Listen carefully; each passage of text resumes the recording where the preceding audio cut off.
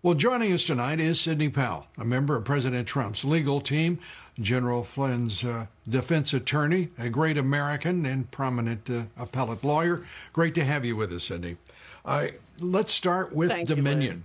Uh, a, a, str- a, straight out disavowal of uh, any uh, claim of fraud against the company, its software or machines. Your reaction?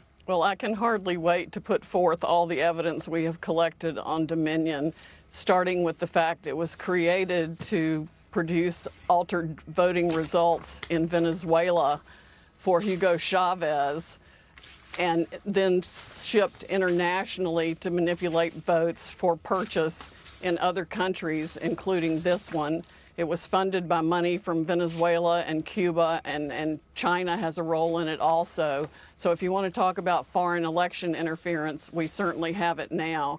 We have staggering statistical evidence. We have staggering testimony from witnesses, including one who was personally in briefings when all of this was discussed and planned beginning with Hugo Chavez and how it was designed there, and then saw it happening in this country. As soon as the state shut down on election night and stopped counting, those are the states where the most egregious problems occurred.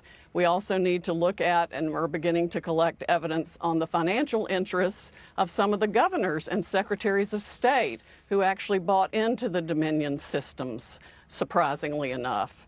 Hunter Biden type graft to line their own pockets by getting a voting machine in that would either make sure their election was successful or they got money for their family from it. Well, that's straightforward. It may take, uh, you're going to have to be quick to, to go through and to produce that investigation and the results of it.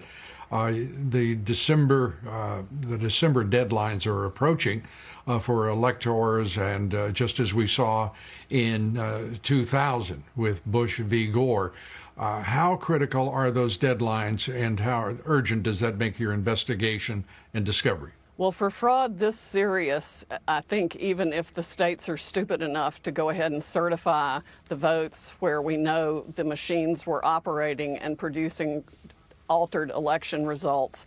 If they're stupid enough to do that, then they will be set aside by the fraud also. I mean, we are talking about hundreds of thousands of votes. President Trump won this election in a landslide. It's going to be irrefutable, and we are patriots are coming forward all every day, all day, faster than we can collect their information with the testimony they're willing to give under oath about how their votes were stolen and how the machines operated. They were updated the night of the election, sometimes after the election. We've got statistical evidence that shows hundreds of thousands of votes being just put in and replicated. It, it's going to be there needs to be a massive criminal investigation, and it's going to affect millions of voters and elections. With these allegations, these charges, is the FBI already carrying out uh, an investigation of these voting companies uh, where their servers are domiciled? And in at least two instances, three instances, uh, we know they're in foreign countries. Uh, tell us where the Justice Department is in all of this. Uh, I wish I knew. I'm not on the inside, so I'm not privy to that information. I know that even Democratic senators and congresspeople for years have reported problems with this system to the FBI and to the government, and nobody's done a blooming thing about it. The people in the election security part of Department of Homeland Security need to be fired yesterday. They're absolutely ridiculous. Of course, Chris Wray needs to be fired too because the only FBI interview of any witness was to intimidate him and try to get him to change his truthful testimony four hours by an anti Trump FBI agent. They still have politics infecting the FBI instead of just following the law. We are on the precipice of this is essentially a new American revolution. And anybody who wants this country to remain free needs to step up right now. These are federal felonies. Altering a vote or uh, changing a ballot is a federal felony. People need to come forward now and get on the right side of this issue and report the fraud they know existed in Dominion voting systems because that's what it was created to do. It was its sole original purpose. It has been used all over the world to defy the will of people who wanted freedom. Sidney, at the outset of this broadcast, I said that this is the culmination of what has been a, over a four year effort to overthrow this president, to first deny his candidacy, uh, uh, uh, the uh, election, but then uh, to overthrow his presidency. This looks like the effort to to carry out an end game in the in the effort against him. do you concur?